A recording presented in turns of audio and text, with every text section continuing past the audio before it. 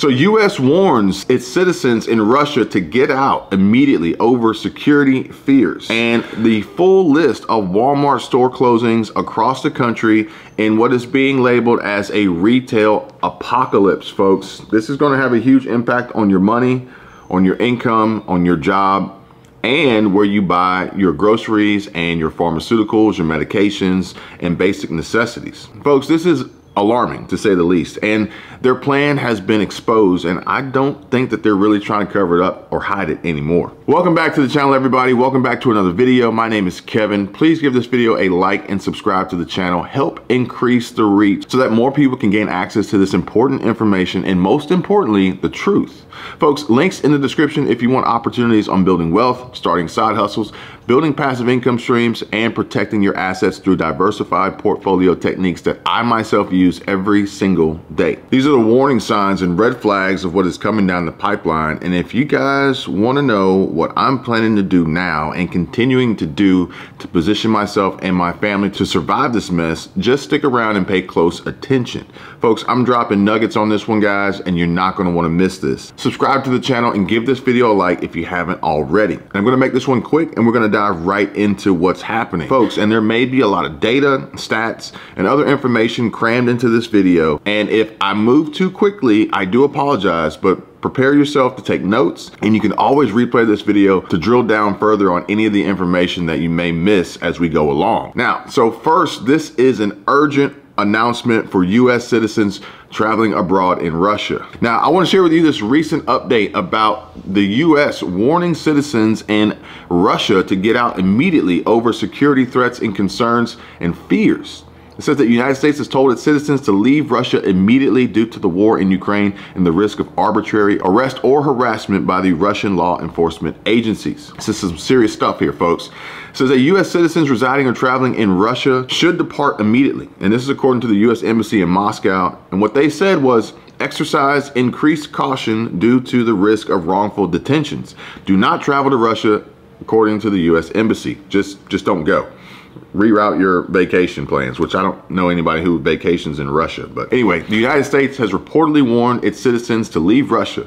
The last such public warning was in September after President Vladimir Putin ordered a partial mobilization. Now, according to the U.S. Embassy, Russian security services have arrested U.S. citizens on spurious charges, singled out U.S. citizens in Russia for detention and harassment, denied them fair and transparent treatment, and convicted them in secret trials or without presenting credible evidence.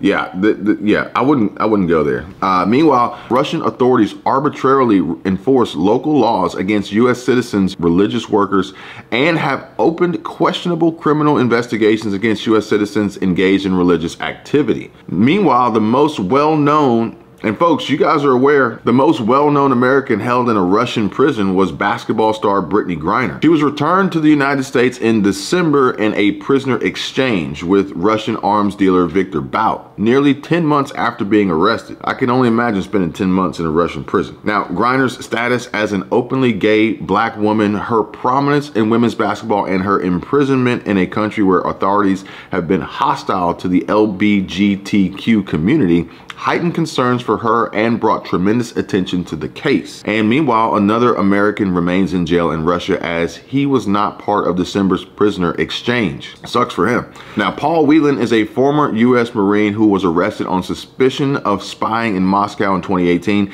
and sentenced to 16 years in prison. So I, he's under slightly different terms as far as why he's being held and detained. Now, U.S. President Joe Biden has said his government will never give up on trying to secure Whelan's release. I hope that stands true.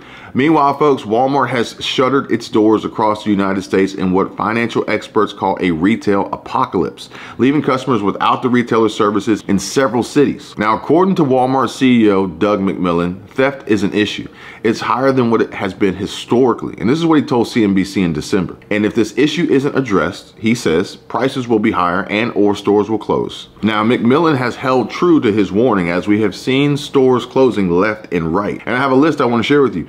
The stores that have already shut down had issues such as accidents and poor performance, which I think poor performance and underperforming are going to be some terms that are going to be tossed around here a lot more to justify why some of these stores are closing instead of saying the real reason why these stores are closing. Now, The list of store locations that have closed so far include Boston Post Road location in Guilford, Connecticut, Howell Mill Road location in Atlanta, Georgia, Raggard Road location in Louisville, Kentucky, Waterworks Shopping Center location in Pittsburgh, Pennsylvania, Lincolnwood location in Chicago, Illinois, and Plainfield location in Chicago, Illinois. Now, also Walmart's San Mateo Boulevard Southeast location in Albuquerque, New Mexico, which like I told you guys was really close to the other Walmart that we visited while making a pit stop on our summer full-time van life road trip where we were in the middle of gunfire in the parking lot. That one's on the list as well as Homewood location in Chicago, Illinois. They are slated to close March 10th. And the reasons for closing include the San Mateo Boulevard location will shutter following poor performance. Now, this is the underperforming metric. Walmart has had record profits, but I'm sure that they have some outliers of stores that don't do quite as well as others or potentially incur way more loss through theft than others. Ahmed Young, Walmart's Director of Public and Government and Corporate Affairs, attributed Homewood's closure to the stores not meeting Walmart's financial expectations. So this is probably going to become more and more commonplace here moving forward. So Folks, you may want to pay attention, especially if you're working at Walmart. Your store could close and you could be out of a job. Now, both Atlanta locations closed in late December because of fires and arson. Again, another growing problem that was actually tied to theft. And a store on Martin Luther King Jr. Drive in Vine City was reportedly the first to be closed after a fire was started in the store on purpose. Meanwhile, another fire was set in the clothing section of a nearby Walmart on Howell Mill Road just days before on December 28th. Now, unfortunately, a variety of economic headwinds existed at both stores before they were closed due to arson. And Walmart isn't the only retailer affected by this retail apocalypse. Back in May of 2022, when Walmart's quarterly profits fell 25%, missing Wall Street's expectations, Dennis Dick, a trader at Las Vegas-based Bright Trading LLC, told Reuters, this is a little bit of a retail apocalypse. It was Walmart and everybody thought it was a one-off. But now that Target missed earnings by a lot more than Walmart even did, they're scared that the consumer is not as strong as everybody thinks. Now, this is what Dick said. But with that being said, is Target next? And so the question remains, what am I going to do now and continue to do to position myself and my family to survive this economic cycle of high prices, inflation, jacked up interest rates going to the moon, underperforming stocks, and slowly recovering S&P 500, car market bubble pop, and potential housing market crash? Well, that's actually pretty simple. I'm going to continue to hammer down on our budget and focus on tracking every dollar, spending less and saving more and finding more and more ways to earn a return through cash flow producing assets, investments, and continuously building businesses to align with the direction the market is going. And I'm pretty heavy in gold. Now, creating online businesses to sell not only tangible physical products, goods, and other commodities, but also to sell digital products and services with infinite profitability built into the design. And like I mentioned before, there are so many different business ideas, strategies, and techniques out there that can produce amazing revenue and income streams. And without ever touching a product or paying high interest rates on holding inventory in stock.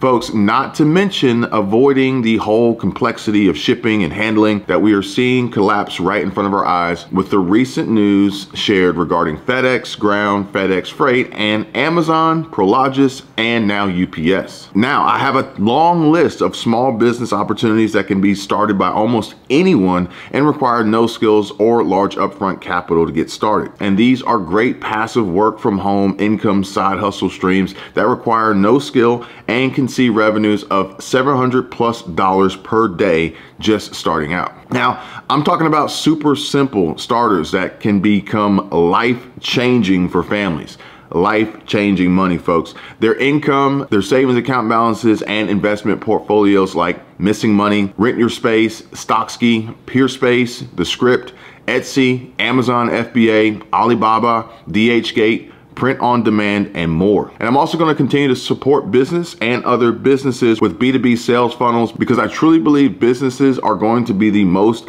viable target markets to survive this recession that we are more than likely to have to live through for the next couple of years. So if you want me to make more videos discussing these business ideas and opportunities, just drop a comment down below and if there's enough interest, I will go ahead and make those videos.